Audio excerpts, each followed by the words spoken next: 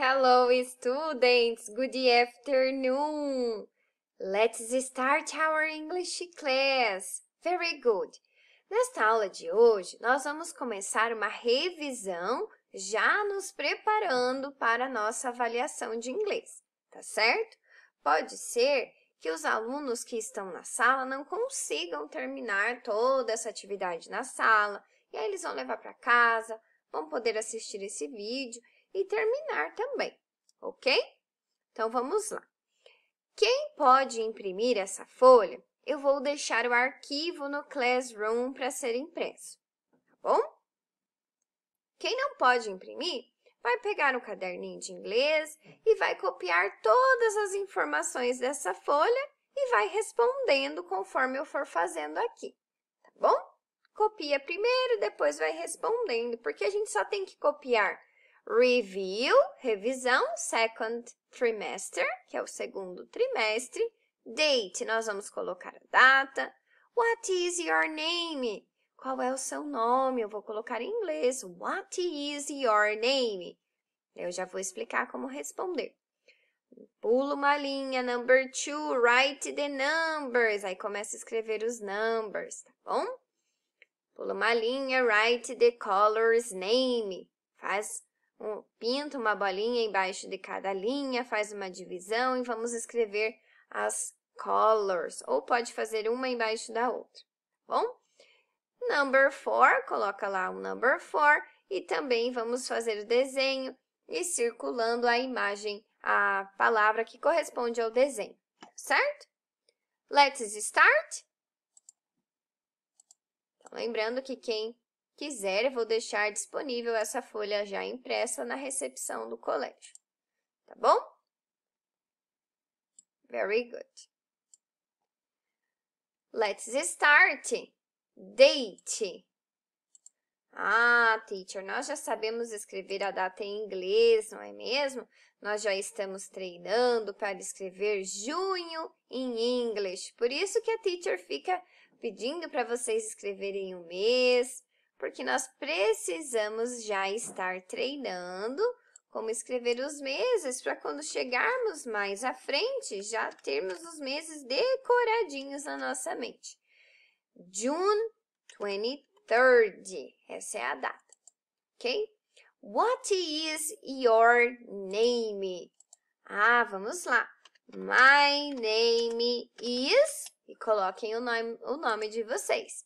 My name is. Tem que colocar completo. My name is. Ok? Vai pausando o vídeo e vamos lá. Write the numbers. Então, aqui nós temos que começar a revisar a escrita dos números, não é mesmo? Nós temos que começar a escrever esses numbers. So, let's go. One, one, two, three, four, five, six, seven, eight, nine. Que maravilha, nós já sabemos falar até o nove em inglês. Agora, nós vamos também escrever. One,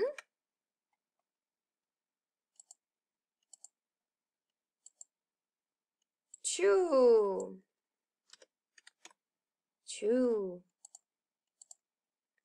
Não basta a gente escrever uma vez só, né? Então, hoje nós vamos escrever uma vez.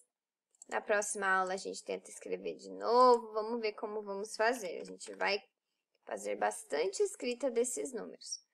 One, two, three, four, four. Five, five. Six, six. seven, seven.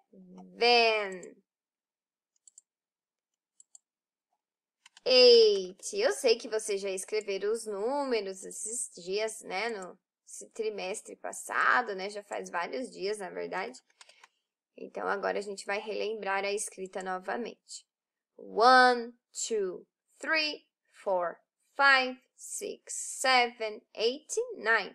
Quem escre quiser escrever mais que uma vez, beleza, vai ser melhor ainda. Write the color's name. Agora que vocês já pausaram o vídeo, já escreveram todos os numbers, nós vamos escrever as colors, ok? Let's write the colors. What color is it? It is green. What color is it? It is blue. What color is it? It is yellow. What color is it? It is red. What color is it? It is orange. Very good. Let's start. Let's write green.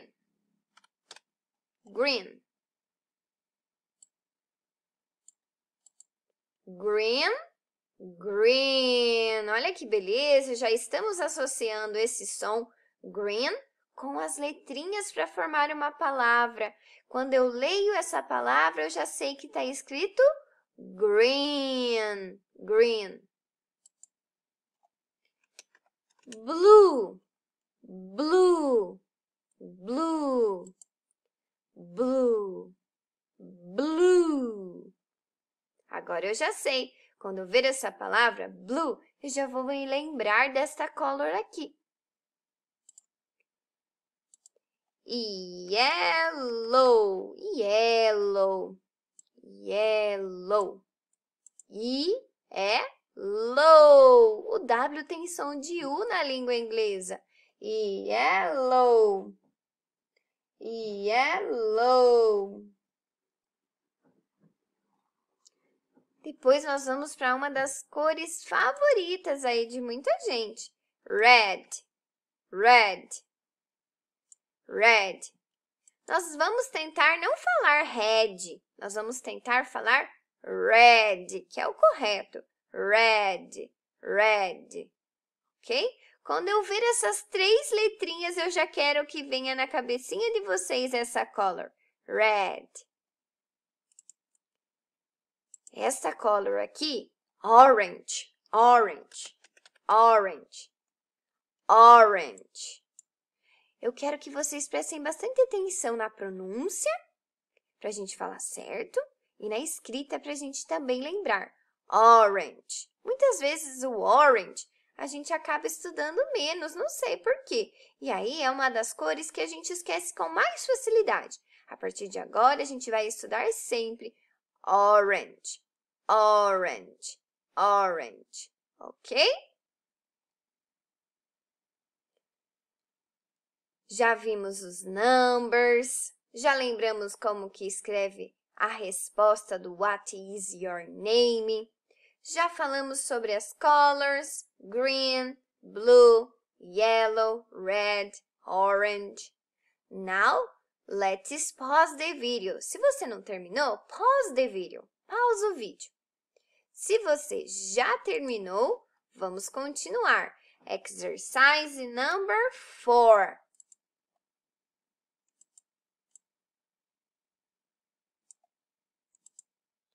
Exercise number 4, circle the correct name. Circle, circule, correct, correto, name, nome. Então, nós vamos ver aqui alguns toys. Doll, plan, teddy bear, kite. Let's pick up our pencil and this circle. Doll. Qual palavrinha será que está escrito doll? Será que é a primeira palavrinha? Ou será que é a segunda palavrinha? Doll. Doll. D, d. Olha o som da letter D. D. Doll. Let's make a circle around doll. Ok? Doll plan, p, plan. Olha o som do p, p.